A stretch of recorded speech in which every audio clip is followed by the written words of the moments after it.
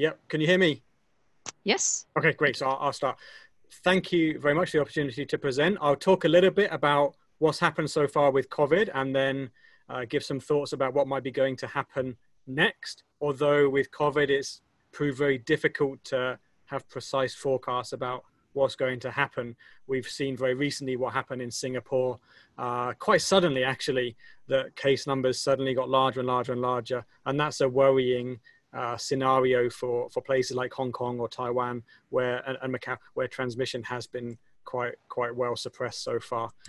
So, for myself, I'm a, an epidemiologist. That means I work on uh, epidemics. I work on information available at the population level on infections and infectious diseases and how we can best control those infections and stop them from spreading in the population. I'm not a medical doctor. I have a PhD in statistics and I've been working in epidemiology for the past 15 years in Hong Kong.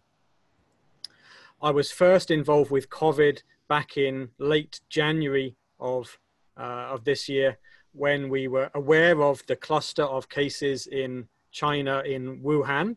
And then case numbers began to increase. On the 22nd of January, my colleagues and I were invited to go to Beijing to start a collaboration with uh, China CDC, who we've worked with many times in previous years. And we worked together with them to do a very rapid analysis of the situation in Wuhan, which was published in an article in the New England Journal of Medicine. Uh, one of the figures is shown here on the slide. And what we looked at was how fast case numbers were rising. And we can see on the left hand side of this figure, the numbers start quite small, but then grow over time. And then the reason for a decay on the right hand side of the figure on this slide is not because the epidemic was controlled in January, it's because many people who'd had symptom onset after the 8th or 9th or 10th of January hadn't yet gone to see the doctor, hadn't been tested. So there's a lot of the epidemic curve that would still later be filled in as time went on. So at this point in time, we focused our attention on the left side of the epidemic curve, which was relatively complete at that point, and looked at how fast case numbers were growing, particularly cases that were not linked to the Huanan seafood market, where it's presumed perhaps there was a zoonotic event in October or November, which slowly led to spread in the community as well. And then it was eventually picked up because there were still some cases being linked with that market, even later in December and in January. Mm. One of the key findings from that early study, which we completed and published uh, towards the end of January, was the epidemic was growing and it was doubling in size every 7.4 days. And so that at that time in December and January, and when we did this analysis on the 24th, 25th of January, the numbers were still very small. But what we've seen now is that the numbers are still increasing week on week. We've seen recently it was a million cases worldwide, and then 10 days later it was 2 million cases worldwide, and it won't be long before we have 4 million, 8 million, I guess numbers just get bigger and bigger and bigger once there's exponential growth at play and it's very difficult to slow things down. We estimated here the basic reproductive number of 2.2, meaning that we estimate each case of infection infected on average 2.2 more before any control measures were implemented. That's a higher reproductive number than influenza, means that COVID is a little bit more difficult to control than influenza, but it's not nearly as high as something like measles, which is extremely contagious. So the SARS CoV 2 virus is contagious, it spreads easily in a place like Wuhan, and it's difficult to control, but it's not extremely contagious. And indeed, in Hong Kong, we've seen if a person infects others, it's typically one or two or three other people. It's quite unusual for one infected person to infect lots of other people. It has happened, but it's very unusual.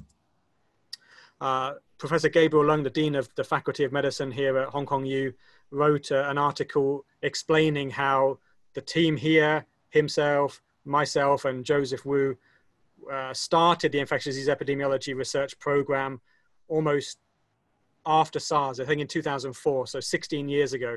And we've built it up gradually and we're now in the right place to respond to emerging infections uh, because of support via the Food and Health Bureau in Hong Kong and, and also support from Hong Kong University over the years. And that's been really critical in allowing us to have a timely response to understand what's going on in China initially and then in Hong Kong.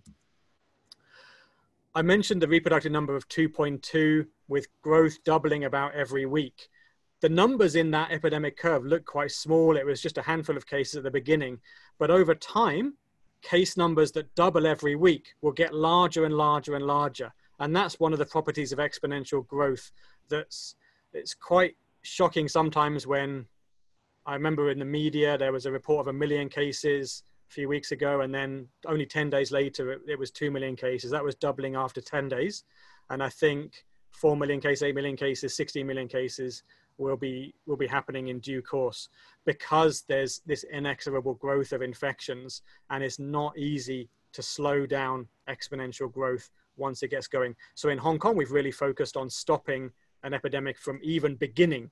So although we talk about epidemic waves in Hong Kong, in some sense, we haven't really had a local epidemic. We've had about a thousand cases, but the majority of those have been people infected outside of Hong Kong.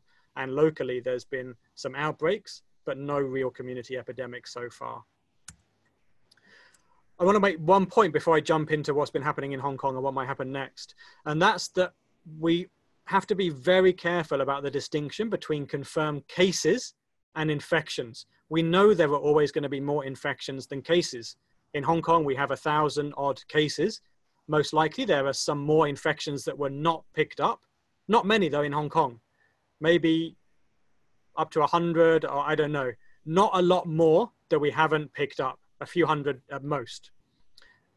If we compare that with somewhere like the United Kingdom, where laboratory testing is very much focused on severe cases that need to go to hospital, mild cases are not tested. People are not tested if they're contacts of known cases. They're not tested if they arrive in the UK from, from abroad. We know that the case numbers in the UK will not be so close to the numbers of infections. There could be many more infections in the UK than there are confirmed cases. And that also means we need to be very careful in comparing fatality rates among confirmed cases. Our fatality rate in Hong Kong is four, four deaths out of a thousand cases. In the UK, it would be a much higher ratio of the confirmed cases would be fatal because they really don't test a lot of mild cases. So in order to, for someone to be a confirmed case, if they're infected, they need to go through a number of steps. They need to get symptoms, need to go to a doctor, need to get tested by that doctor, and then the test result needs to come back positive. And each of those steps can be like a filter. So some people who are infected won't get any symptoms, a small proportion, but it does happen. Among people who get symptoms, some will be so mild they don't go to the doctor. Among those who go to the doctor, not every doctor will have the test available.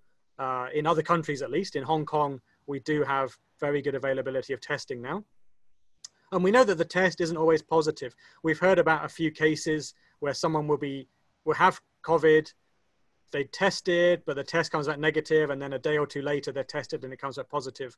Maybe their viral load is a bit low, and the test isn't always 100% perfect. It can miss people sometimes if the viral load is lower or if the sample isn't collected in the, the exactly the right way. Of course, in Hong Kong, we also have quarantine of people and we're testing people at arrival at the airport. So we will pick up some people who are asymptomatic because we're testing them automatically. We're not waiting for them to have symptoms or to go to a doctor. But elsewhere, there's often these steps which act as filters. One of the studies that we did quite uh, quite recently was a study of the case definitions in China and how they've evolved over time and broadened as there's an increased there was an increased understanding of the characteristics of cases, the symptom profiles, the severity profiles, and so by late uh, so by halfway through in mid-February, there was an expansion in the case definitions to allow for mild cases uh, to be captured. And each of these expansions in the case definition meant that a wider pool of infected people could be captured as confirmed cases.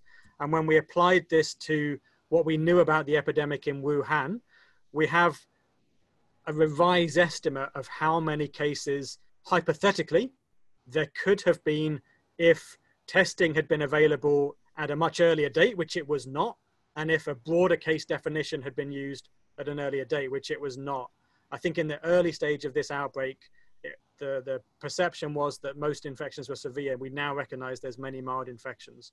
So we estimated in China as a whole, if there'd been much more testing available at an early stage, which of course was not possible, but if it had, hypothetically speaking, and if the case definition had been broader from the beginning, then there could have been maybe 230,000 cases detected. There would have been more infections than that because some infections still wouldn't meet the case criteria uh, that were being used. For example, asymptomatic cases were not included. And so there would be more infections than that in China, but certainly not a large number of infections in China. I recently saw a preprint estimating how many people had been infected in Wuhan, estimating it was up to 10% of the population. That would be up to a million people in Wuhan. And it might be an overestimate because the test that they used could have had some false positive results. But that would make sense that it wasn't really a very, very large number of people infected uh, in the first wave. And outside of Wuhan, outside of Hubei province, the numbers of infections were really very low. Outside of China, we've seen many countries follow a very similar trajectory. This is a graphic from the Financial Times uh, from a month ago.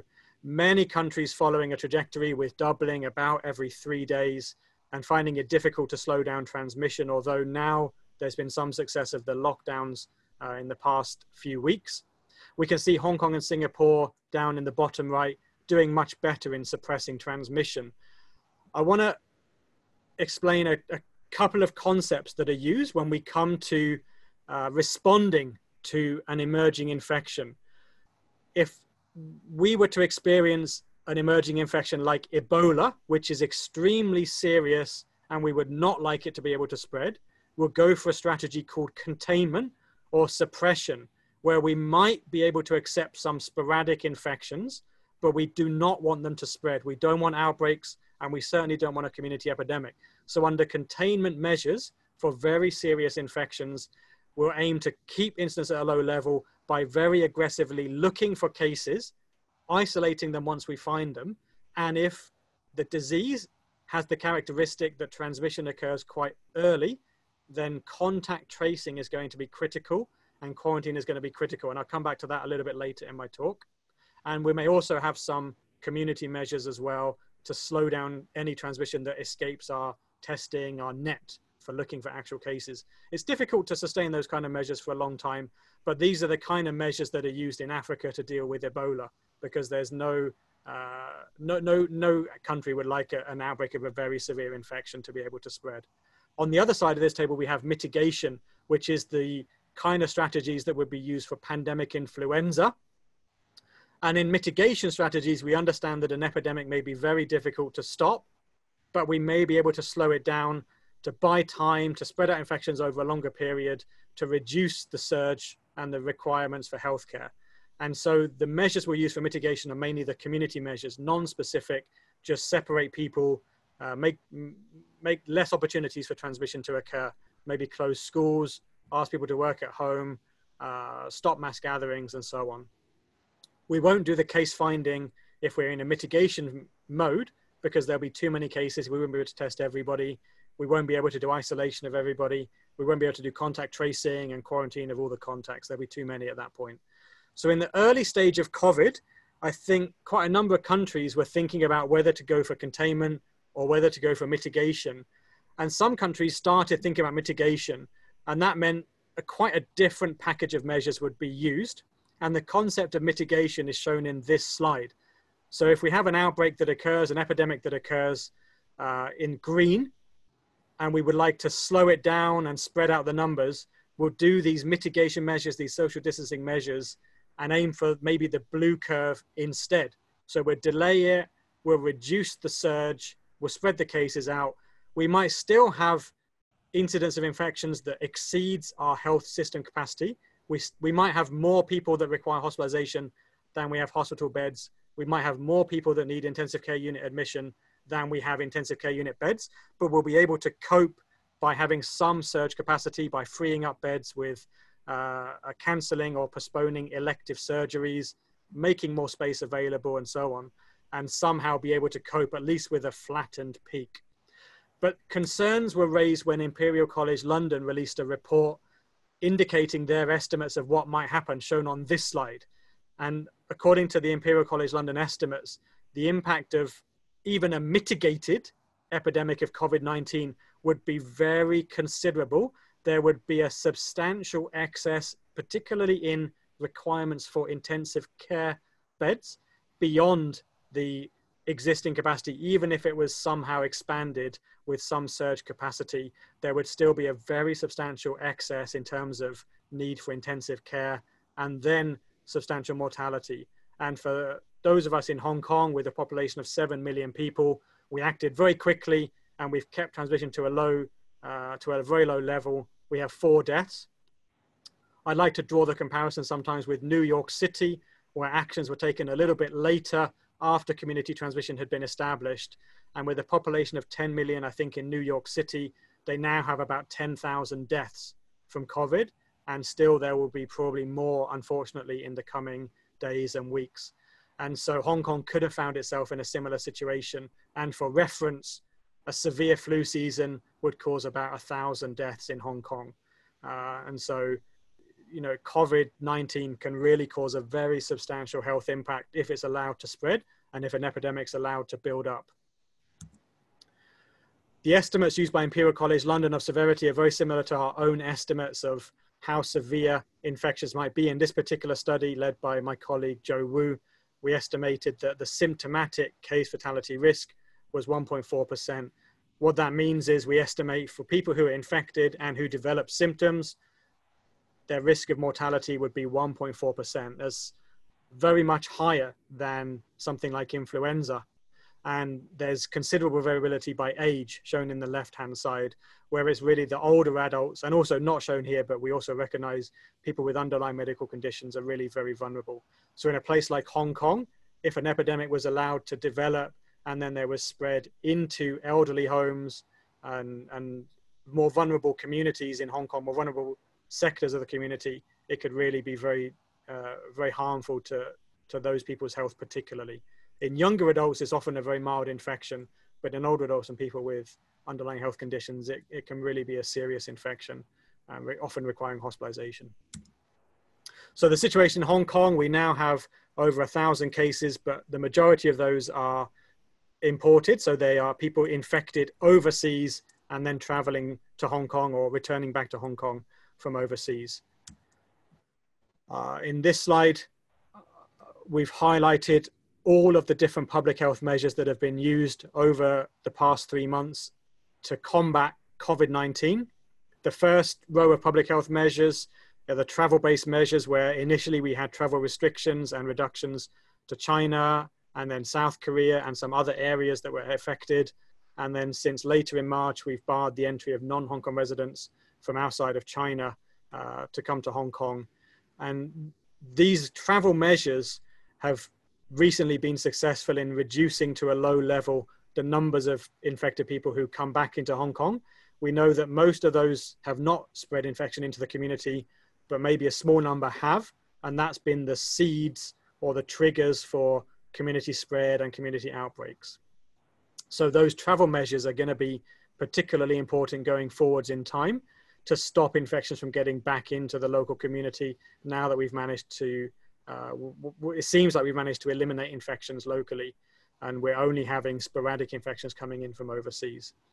The second categories of measures are those case-based measures, so doing a lot of testing, isolating the cases in hospital, tracing their contacts, and then quarantining their contacts, and also testing now everybody who comes back into the airport or if they cross the border back from mainland China, we test them if they've been to Hubei province in the past 14 days. And for the community measures, there are school holidays, special work arrangements for civil servants, and many other businesses, private businesses followed the same arrangements of uh, uh, arranging people to work from home, cancelling mass gatherings, sporting events, closing theme parks, and some other measures more recently uh, since late March in restaurants and bars and, and leisure facilities. And I think all of these measures have had a contribution. One of the things we're trying to do here in Hong Kong U is to estimate what's really the contribution of each of these different measures. But it's difficult because many of the measures are implemented at the same time and they're overlapping. And so it's not easy to distinguish which of them are the most important. And in addition to the measures implemented by the government, there's also voluntary changes in behavior by the public in Hong Kong. For example, wearing face masks. In SARS, we did some surveys where we estimated about 70 to 80% of people wore masks in public. In H1N1 in 2009, the flu pandemic, it was only about 10%.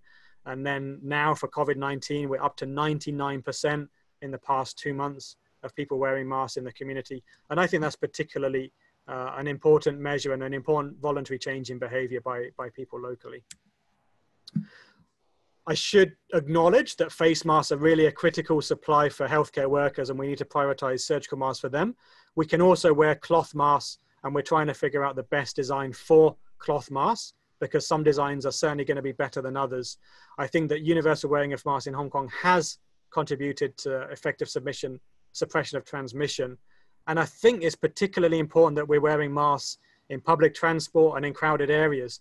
One of the most effective measures for COVID 19 is contact tracing, where we get ahead of the virus. And it's difficult to do contact tracing. So if I was to ask you about your family members, you can tell me. If I was to ask you who you had lunch with, you can tell me. Ask you, if I was to ask you who did you sit next to in your office, you can tell me.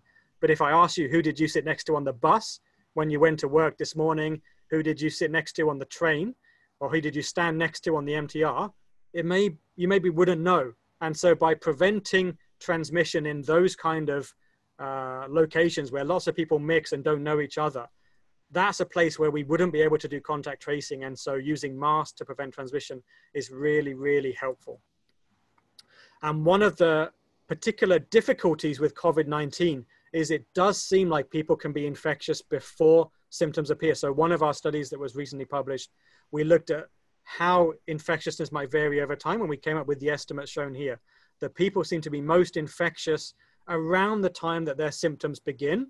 I would say the curve on the left looks very, uh, very precise, but is certainly not a precise estimate. You have to blur a little bit in your mind, but for sure, people are most infectious around the time their symptoms appear and relatively less infectious as time goes on. And what that means is there can be a lot of transmission among people who are infected and then just around the time their symptoms appear. In Hong Kong, this is a figure showing the timing and the delays in isolating cases. So each one of these red dots is a case. And if there's more than one red dot in the same place, then it's darker, meaning there's two or three cases with that combination. And what we see in January and then February, the delays in terms of when someone had symptoms and then when they got tested, confirmed, and isolated. The delays were often 10 days or more. But into March, we've managed to bring that delay down to about five days, maybe five or six days on average. But that's still a delay. And if I just go back, if we delay isolation until five or six days after illness onset, we've most likely missed the opportunity to stop transmission from occurring from that person who's sick and who's identified as a case. And what we need to therefore do is get one step ahead of the virus, find out for the cases we've just identified, who might they have already infected? That's contact tracing. And then put those contacts into quarantine so that if indeed they have been infected, probably there's a low chance, but if they have, then we stop any further transmission and we get one step ahead of the virus. So that's why contact tracing and quarantine are really so important, and they really have been important in Hong Kong. We also know that the non-specific measures, like school closures, like working at home, uh, like cancelling mass gatherings, and like everybody wearing masks, all of those measures have had an effect on influenza transmission. So obviously, testing, isolation, contact tracing wouldn't have an effect on flu, but the, the community measures have. They reduced flu transmission by 44%, and that's much more than the effect we've seen in previous years when schools have been closed, where there was maybe a 15% reduction in transmission. And I think the additional going from 15% to 44% shows the impact of all of these other community measures. The working at home, cancelling mass gatherings, everybody wearing masks, everybody improving their hygiene. And that's really important. We've been tracking transmissibility of COVID-19 over time in Hong Kong, and we've been relaying our estimates on a dashboard from the School of Public Health, and the Centre for Health Protection also use these estimates in their dashboard. We've stopped estimating the reproductive number just very recently because now we are down to zero local cases for a while, and there's no way to estimate transmissibility when there's zeros, when there's no cases. Uh, but we can say that there's very low transmissibility because there's no cases locally. But what we can't say is what's the precise estimate. And it doesn't really make sense to estimate the reproductive number today when there's been no local cases recently. So we've paused estimation for, for a while and we put a little footnote here to just say we paused it and we'll restart again monitoring this reproductive number if the if a second wave were to begin in Hong Kong. And just to, to explain what the numbers mean, I said at the beginning of my talk in Wuhan, we estimated the reproductive number in Wuhan was 2.2. In Hong Kong, we might expect even a little bit higher than that if we did nothing, if we allow COVID to calm and spread in the community, because Hong Kong is even more densely populated than Wuhan. But because of the effective public health measures, we were able to keep the reproductive number down to around one for three months. Basically, since the end of January, the reproductive number has been at or around one. There's obviously some variation, and a little bit of that is noise. Seemed like it went above one a little bit, and that's when we were having a spike in cases later in March. But generally speaking, it's been at one or about one for three months. And that's good news for us because it means as long as the numbers stay low, they will stay low. As long as we just have a small numbers of infections in Hong Kong, there won't be potential for spread. Uh, if we were having a reproductive number above one, that would mean that there will be a slow and steady growth in cases over time. So we want to keep the reproductive number below one with public health measures. So getting close to the end now. When will it go away? I don't think it will go away. In Hong Kong, we've managed to keep it out. Some other countries will also be able to keep it out. Australia and New Zealand are aiming for that. Um, but other parts of the world will not be able to keep COVID 19 out. They will not be able to stop the spread. And so, because of international travel, there will always be opportunities for the virus to come back into Hong Kong and come back into other places that have not yet experienced epidemics. There may be some environmental uh, variability in transmission.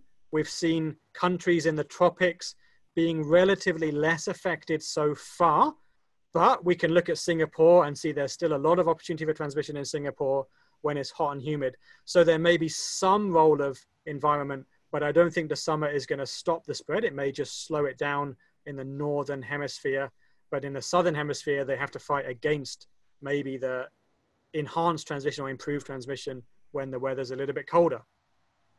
There's certainly the risk of a second epidemic wave in China, but we've seen the health authorities in China jump very quickly on the outbreak in Harbin with relatively small numbers of cases and already doing lockdowns in that city. So that signals the intention in China really to prevent second epidemic waves from occurring, even if it requires lockdowns again. I think will they, those will be used even more proactively than they were used in Wuhan to stop any kind of second epidemic wave from building up in China. When will everything be over?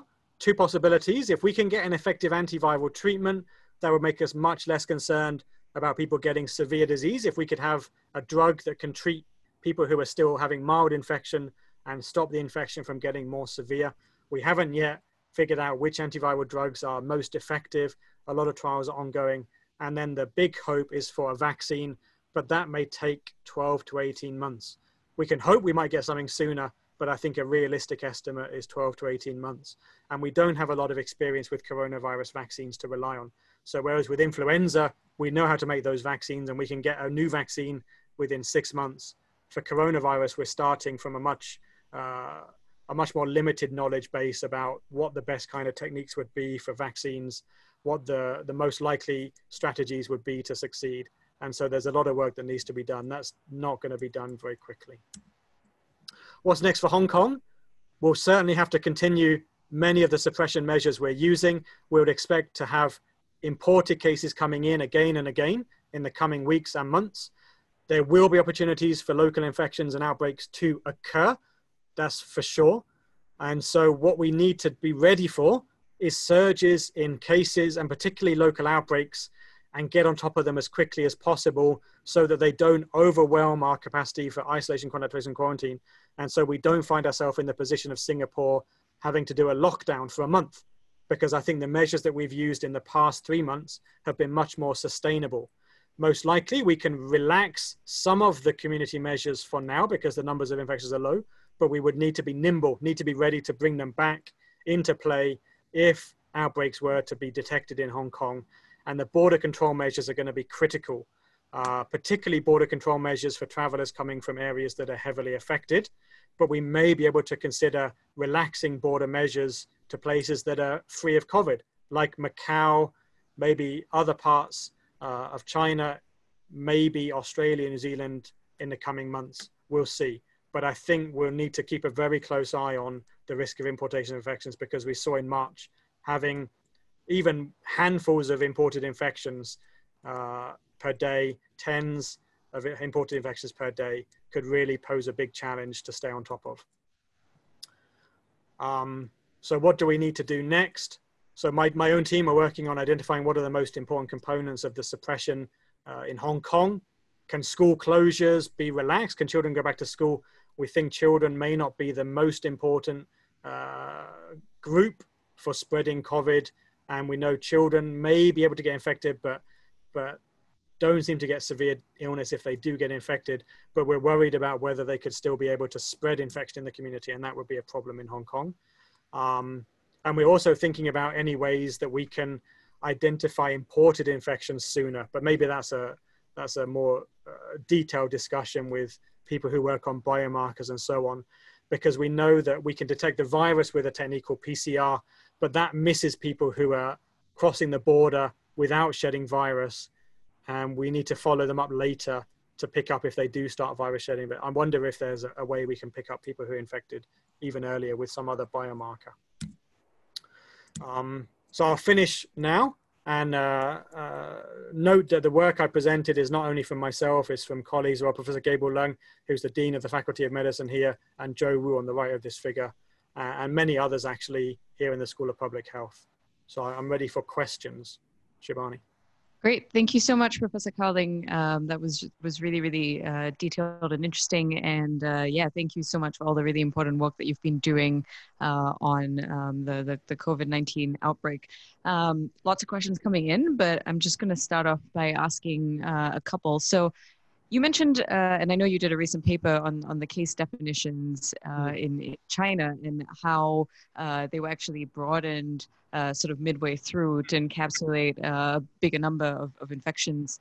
Um, what do you think the, the, the, the implications of that, uh, the implications of, of, of the research um, that, that you presented are? I mean, do you think that the global response would have been any different if, if the cases were seen to be you know much much much bigger than the numbers that we heard uh, sort of in yeah. January. But I think we recognized even late in January from the exported cases that there was a mismatch between the severity of infections reported in Wuhan, where all the cases had pneumonia and seemed to be quite seriously ill, versus the earliest exported cases in Thailand and then Japan and then other places, which were all mild.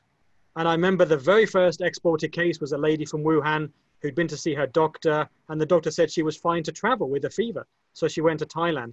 And that really alerted us that there were most likely a lot more infections in Wuhan than confirmed cases. And in Wuhan, they also recognized that and broadened the case definition.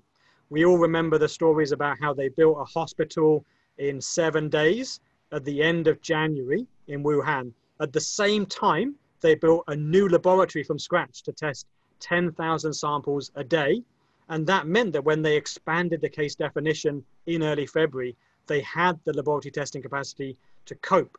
Because obviously, it, it's no good if you have a case definition that allows for mild cases if you don't have the lab testing capacity to match. And I think in other countries around the world, what we've seen is that they didn't have the lab testing capacity. In the US, for example, they were really testing very few people in, in the month of February. They were not generally testing people with mild symptoms and they were focusing on people coming from China when actually they should have been looking at potentially people infected in other parts of the world and even domestically. Mm-hmm. And um, my second question, which I think is something that is sort of on everyone's mind right now, uh, I know it's still early days and you're still, uh, you and your team are still doing some research on, on this, but mm-hmm. When you talk about relaxing, potentially relaxing some of the social distancing measures and, and some of the mitigation measures that we have in place here in Hong Kong, um, what, what, what sort of comes to mind first uh, in terms of measures that you think you know haven't haven't really helped that much or, or something that that can be you know the the, the first to be relaxed uh, somewhat? So I, I, think, I think all the measures in hong kong have helped all the measures but what we want to identify is which ones are the maybe more significant in terms of relaxing and less significant in terms of suppression so something like school closures I'm sure it's had an effect on COVID, but it also has a real big social community impact because children are at home. We're worried they're not learning. Parents can't go to work if they need to look after their children and so on. So I think school closures is one of the measures that we could look at relaxing earlier because although it has an effect on COVID, it's maybe a smaller effect. We may have to compensate that effect at some point, either with reinstituting the closures or by doing other things. But that may be something we can look to relax sooner. And I know that European countries are, are thinking about the same kind of thing, the same calculations that school closures are important, but also sending children to school is important for society. And so they're looking to relax those first. And we're going to be looking very carefully at what happens in Europe when schools start again and whether there's any kind of concerning trends. Mm-hmm. Great. Well, thank you so much. And now I'm going to move on uh, to some of the questions that we've been getting through the chat function. Uh, we have one from Joshua Zimmerman here. Um, and he asks, what happens if six months from now you have two worlds, um, places where there have been widespread outbreaks, like the US, like Western Europe, and maybe have some kind of herd immunity, uh, and places like Hong Kong, Vietnam, South Korea, where the virus never actually broke out into the wider population? Uh, what does that mean for rebooting travel and trade? Um, and what does that mean for the countries where there was actually never any mm. uh, you know, widespread community transmission? So I, I don't know whether that really will play out in that way, but hypothetically, if it did play out in that way, I think places like Hong Kong and Korea would still be very cautious about accepting travelers from those other parts of the world where there might still be infections going on even if they reach a level of herd immunity, it doesn't mean they won't have infections going on. It just means that they won't be concerned about having a large epidemic that would overwhelm their healthcare system because any subsequent epidemics would be of a smaller scale. But I think for those other parts of the world, like maybe the US or Europe, which have had more infections, they might be able to open up their travel and their borders sooner because after you reach a certain level of immunity in the population, you're then less concerned about having more infections coming in because in some sense it wouldn't be so so problematic so so harmful anymore to have a second wave or a third wave. It will be like a like a flu season basically at that point. Mm-hmm. very interesting. Um, and another question here from Ken Young, uh, who asks um, about mobile phone data uh, being used to, to, track and identify potential mm. cases, uh, which has been used in places like Taiwan, Korea, and, and, China. I think Singapore too has that Bluetooth app, even though it never got hmm. sort of widely used. Um, but what, what are your thoughts on that uh, in terms of, of, of mitigation and, and, a, and, and, a tool, and whether Hong Kong should start employing uh, some of those uh, kind yeah. of more high tech tools? So what we've seen in Hong Kong is that isolation is often happening after maybe five, six, seven days. Sometimes it's quicker, but many times it's a little bit delayed. And that means we do need contact tracing to find people who might be uh, already infected but not yet know it. To do contact tracing for someone's family contacts is easy. To do contact tracing for their work colleagues, their social contacts is quite easy. But to have contact tracing for the people that were, were passed at random, maybe standing next to on the bus or, or the train or in a restaurant sitting at another table. That's really difficult. And that's where the mobile phone tracking comes into play.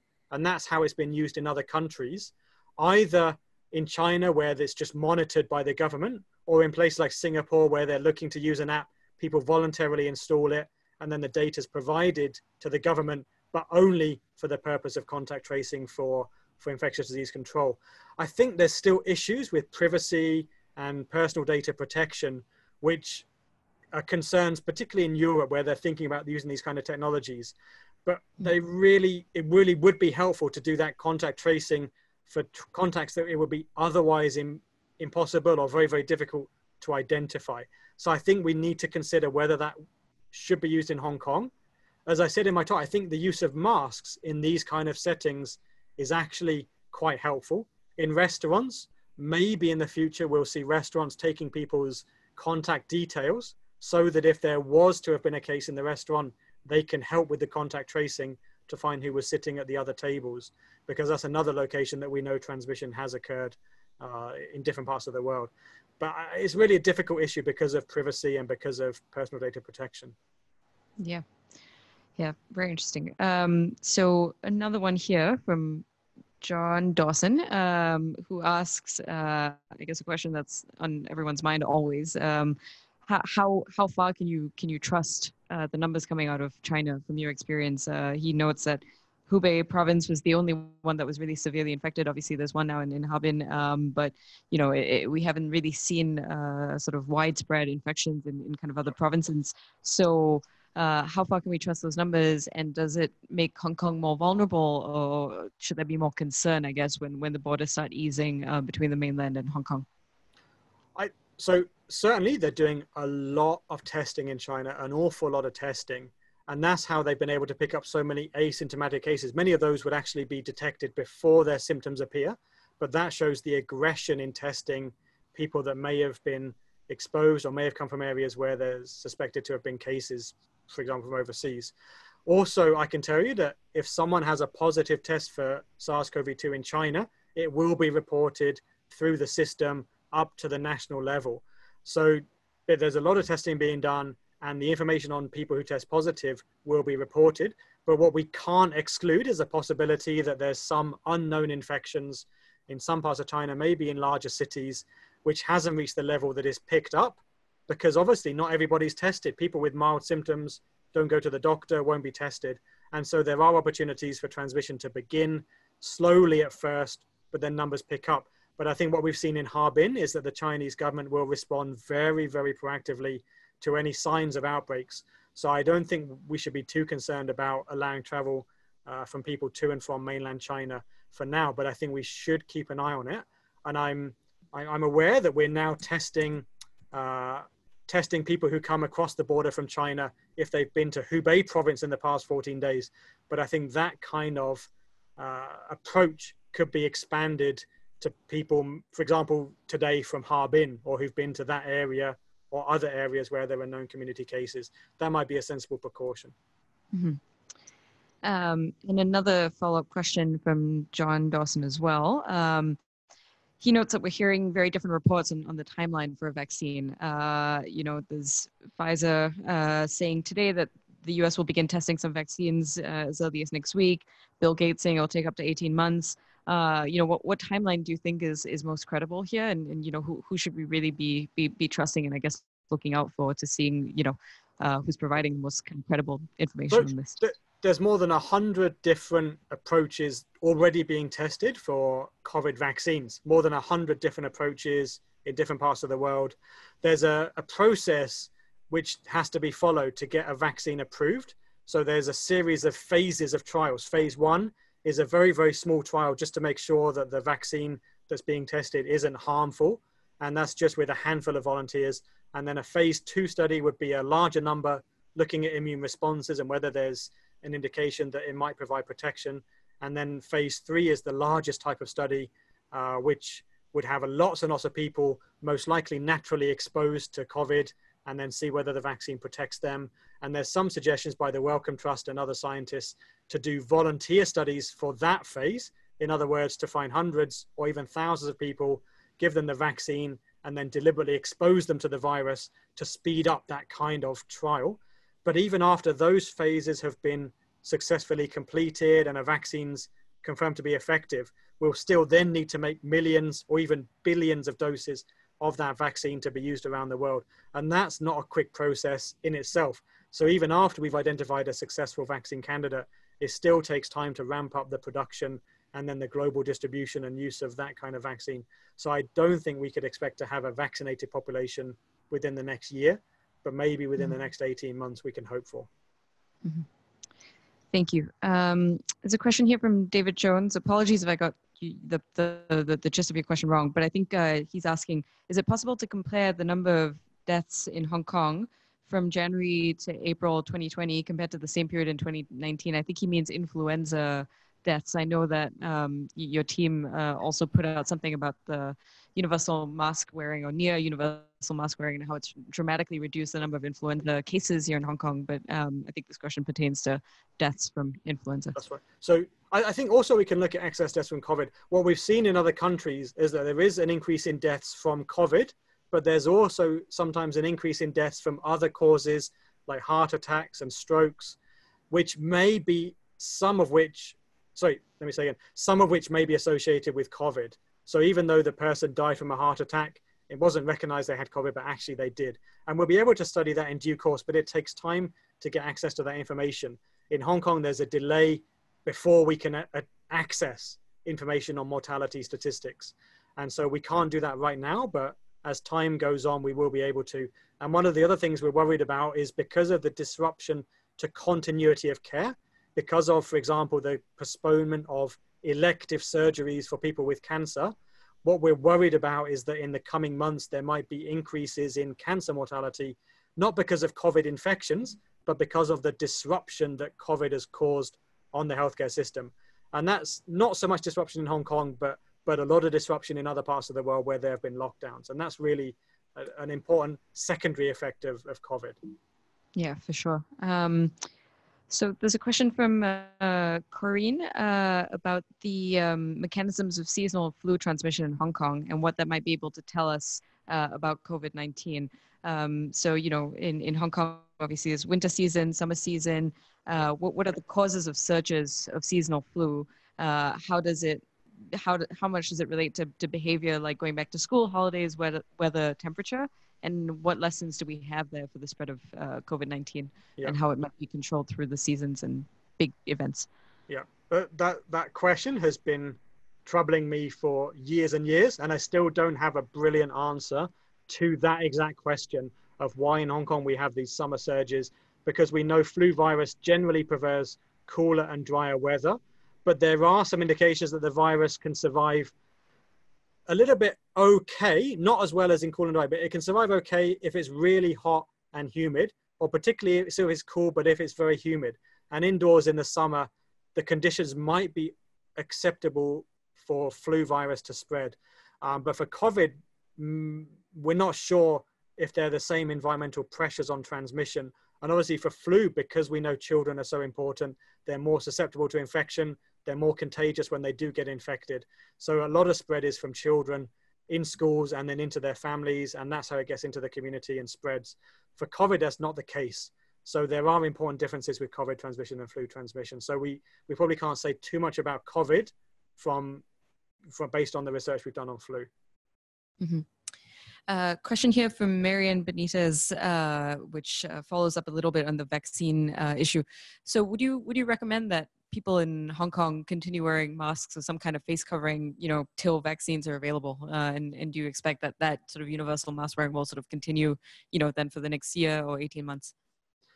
Yeah, and I'm aware that we have limited supplies. Many of us don't have a lot of masks, so we're reusing them again and again and again. I've said even from the beginning that I think the most important places to wear masks are in public transport and in crowded areas. In our offices, I think right now there's less need to wear masks, and maybe we can save our supplies for when we need them in the future. Mm-hmm. But I, I think that mask wearing is really important, and I think we should continue wearing masks through the summer for months to come, particularly though public transport and crowded areas. I don't think we need to wear it all the time, all the all day, all the time, but certainly in crowded areas because, as I said before, that's the locations where if transmission was to occur, it could spread quite easily and among people that can't easily be traced and tracked um, because this we don't know each other when we're on the train, when we're on the bus, on the MTR. And so that's really the locations we want to prevent transmission from occurring the most. Mm-hmm. Uh, another question from Corinne here, who brings up Singapore's uh, outbreak in, in um, migrant worker dormitories, uh, which are very tightly packed. I've actually done some reporting on this as well, right? Which uh, looked at how essentially Singapore authorities weren't as aggressively, you know, testing in those dormitories or, or kind of factoring them into their to their COVID-19 response. Uh, so related to that, she's asking, is Hong Kong testing in vulnerable communities like people living in subdivided flats, uh, cage homes, other very, very, densely populated kind of living conditions, um, and that could that emerge as a potential weak point for Hong Kong? Uh, if not, what do you think some of Hong Kong's weak points are at, at present? Um, you know, especially if we keep the Singapore situation in mind. So we're, we're not exactly the same as Singapore because we don't have those large worker dormitories here. But I think there are vulnerable populations in Hong Kong that we need to be very careful about. And I would put elderly homes as one of the most vulnerable locations where often these are in very densely populated parts of the city. And it would be very easy if there was community infections. It'd be easy for infection to get into one of those facilities, and then that would be very, very uh, harmful to the residents' health if infection was to get in. I don't think at the moment we need to think about doing testing of people in those kind of vulnerable communities.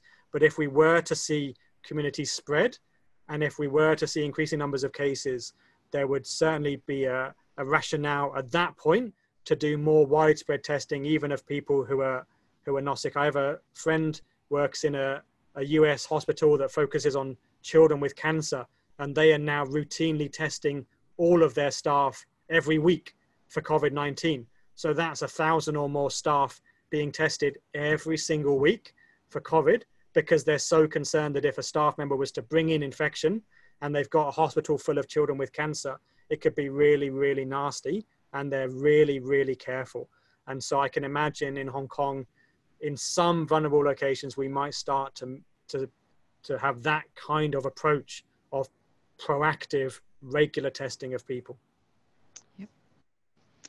Uh, one more here. I think this is uh, our last question for now. Uh, we have five more minutes left, so if you want to get more in, uh, here's your chance. Um, but a question here from Ricardo Lopez um, talking about contact tracing. He's asking whether the Australian experience could be instructive. Uh, they had 2.5 million downloads in three days for an app, uh, which is open source and relies on anonymous Bluetooth tracing rather than GPS.